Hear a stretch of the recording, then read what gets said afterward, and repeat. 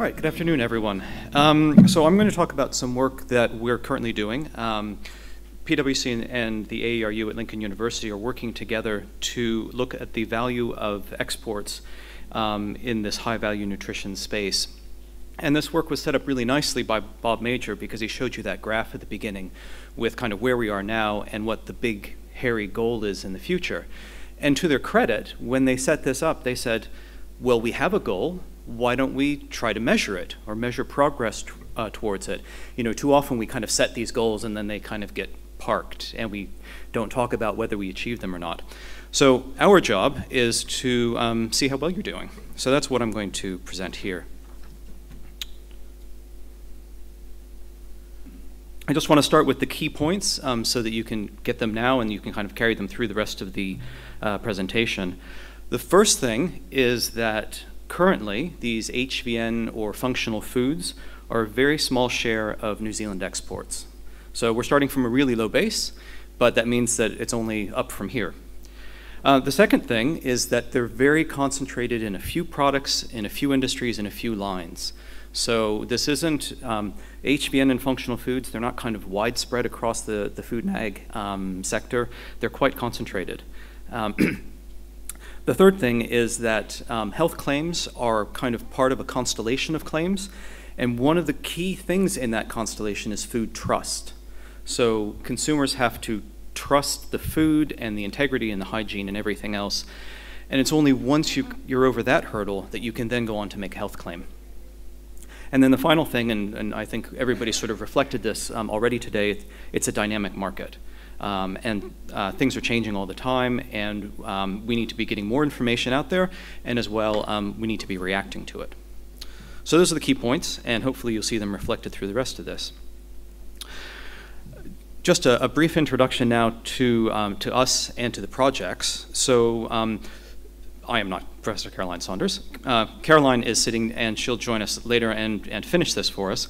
She's at Lincoln University, and she's director of the AERU, and she's got a lot of experience in agribusiness, economics, trade, and the environment, and she runs a team down there. And um, I'm a director in finance and economics at PwC, and I run our economics group in Wellington. And I do a lot of work in food and agriculture, and as well in consumer research. Um, so we're backed up by teams at our respective places. And what we're trying to do with this work, it's two things. One is we're trying to estimate the revenue that New Zealand gets from um, high-value nutrition exports. So we're trying to actually come up with a dollar value. Um, and again, I think somebody mentioned hiding, hiding from things earlier. Um, we're trying to make sure you can't hide from it. We're going to give you a number. You may not like it, we may not have gotten it quite right, but at least we'll put it out there. The second part of the work is about um, understanding New Zealand's reputation overseas um, around these kind of high quality foods, especially around the validated health claims. Um, so what we're trying to do is, is find out how overseas consumers think about New Zealand.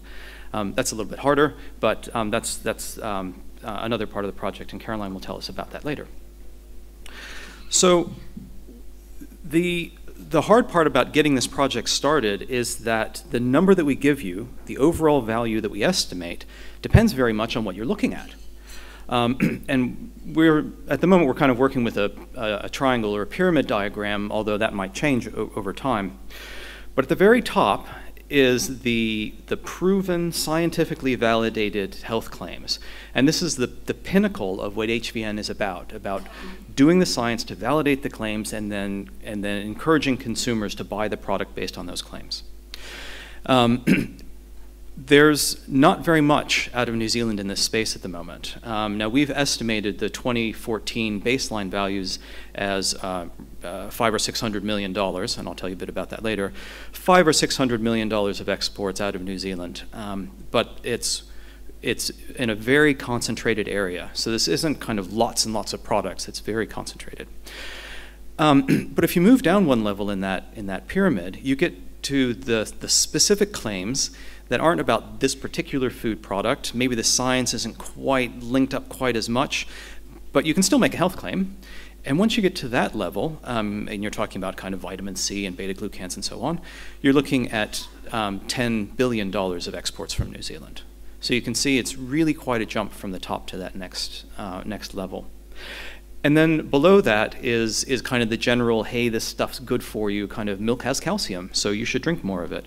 Um, and that's obviously, we sell a lot of food products, we sell food because it's healthy, and that bottom uh, layer um, represents probably 12 billion or so of our, of our um, exports. Now, obviously, that doesn't make up all of our food exports. We sell more food than that, but um, these are the this is the, the extent to which the food that we sell is based on health claims. Now, how have we gotten to this? Well, we got to this by looking at the export statistics that are available. Um, but there's a big problem with that. Statistics New Zealand doesn't actually collect data in this way. So there's no data source we can go to and we can open up a table and we can point to a number and say that's what you're doing. So that's where we've come in. Now, Statistics New Zealand does tell us a lot about export information, and there's a whole categorization uh, uh, uh, catalog that happens that are called HS codes. And our teams have gone through all of the HS codes, and we're using the six-digit level, and we found kind of 600 um, uh, codes that, that are kind of important, and we've gone through all of them and we've categorized them and we've thought about, well, where could these functional foods be hiding in all of this data? Um, and and then from that, we the second stage of the project was to take these big numbers that we where we think the functional food is hiding and actually kind of pull those values out of that out of that data. And how do we pull that data the, those numbers out? So what we did is we went to the experts to you folks. We did a survey of people in the food and beverage sector to try to understand um, uh, you're exporting milk powder. Well, how much of that is based on some kind of health claim? Or you're exporting kiwi fruit. How much of that is based on what you can tell people about the healthiness of kiwi fruit? So we interviewed a bunch of people from uh, across the sector and got a sense from them of what portion of exports is based on health claims. Um, now, some people reported that um, they were, they were selling exports based on the idea that their food was especially nutritious um, and they could make some kind of claim about something in the product. Um, a lot of people actually reported they weren't selling functional foods at all, that kind of nutrition was sort of part of their business, but they weren't actually selling based on, on uh, nutritive value. Um, and really, when we, when we kind of nailed people down, if we're thinking about that, that tiny top of the pyramid, we actually only found one uh, firm of any size that was uh, exporting based on a scientifically validated health claim for their product. So at the moment, it's still a very small market. It's still early days. We've got a, a lot of work to do.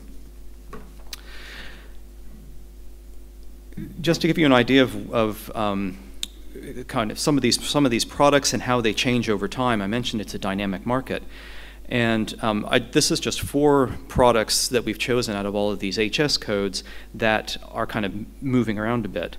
And um, these are for honey, mussels, cranberries, and avocado. And all of these are products where people are saying, mm, there's a health benefit here, we might be able to validate something. And that, that big um, shooting up one is, um, that's the honey line. So you can see honey exports are really taking off um, around a lot of this interest in, in Manuka honey. Um, there are technical issues with the health claim, but you can still see that you can you can build a business on on uh, the idea that it's uh, got a, got good nutrition uh, associated with it. The ones that jump around are mussels and avocado, and in those you can see actually some of the difficulties with these with these products. Um, I've actually been doing work with the avocado industry just just recently, and one of their struggles is getting consistency of supply. And if you're trying to kind of sell people on the value of your product, and then you have a bad year and suddenly you don't have the product to sell them, then all of that work has gone to waste. Um, the next thing that we're doing, um, in addition to this kind of statistical work, is we're actually um, linking up with uh, the PwC office in Singapore to do research on what's going on in Asia. We're actually having them do uh, work in market. What we're trying to do is um, we kind of sit here in, in, New Zealand and we think we know what we're saying to the world. And we're asking these folks actually to tell us is that message getting through or what's actually happening? So they've gone into grocery stores, they've looked at magazines, um, they're, they're sort of pulling together some evidence of how New Zealand is perceived and how these exports are perceived. Um, and this includes qualitative work, uh, quantitative work, interviews with uh, people in government and importers, and so on. So they're trying to bring all of that information. And what we're trying to do is marry up these kind of three bits of information the hard numbers from statistics, the interviews with industry, and then this, this overseas work that validates it. And one of the main things I just want to point out here is that the message that's coming through again and again is food safety, hygiene, um, uh, trust. So that food trust is a really important component of all of this. So now I'm going to turn it over to Caroline, and she'll tell us about the, the other part of the work. Hi, good afternoon. Seven minutes and counting down. I like it. um, thanks, Bill, for, for that. And um, as Bill said, that um, PwC have been going in market research, and here's a bit where the science challenges sort of meet because um, I'm theme leader of um, the Island and Water Value Chain theme, and we've done work with other projects looking at um, in market research. And as Bill says, that confirms the results that um, we've been talking about. So we've got a shift in perceptions in the Asian market towards healthier food. As they get wealthier, we get the rise of the middle class in these countries. Um, high-end imported food is definitely trending upwards. Um, we are getting evidence that this links with the traditional medicines, and you saw that with the earlier presentation that was given about the, the blank in the area of the patents of that, um, about looking at how we could connect into to those. And diets are, are changing, and I've just come back from China, and interesting, the Chinese are being told, maybe that's the wrong word, to eat less meat, but definitely milk consumption is much lower than the government's target for milk consumption. Um, some of our research from, from overseas markets, part of a much bigger um, project called Maximising Export Returns, and this is a subset of the health enhancing one, and it's just showing you across five key markets that New Zealand might be interested in the relative importance of what we call health enhancing foods. And you can see there a big stress on the developing countries, particularly um, compared to the developed countries, Japan and the UK. And if we dig down to those, what they mean more, um, more here again is another scratch on the information we got from that work. Um, bone health screams out from all of them. It's a bit hard to tell on the colouring here, but you find UK and Japan uh, find all these attributes less important.